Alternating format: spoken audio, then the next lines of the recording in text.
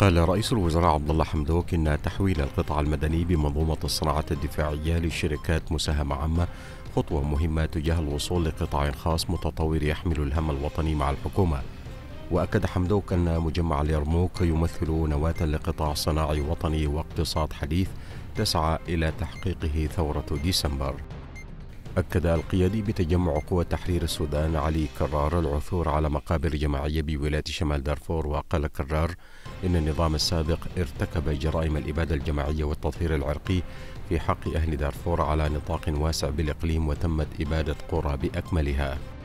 كشف رئيس بعثة يونيتامس فولكر بيريتس عن استضافة السودان لأكثر من مليون لاجئ من جنسيات مختلفة وثمن جهود الحكومة في السعي لتوفير البيئة الملائمة للاجئين. وأكد بيريتس افتتاح مكتب للبعثة بكسلة في مايو المقبل لتعزيز جهود حكومة الولاية لتحقيق أهداف الفترة الانتقالية.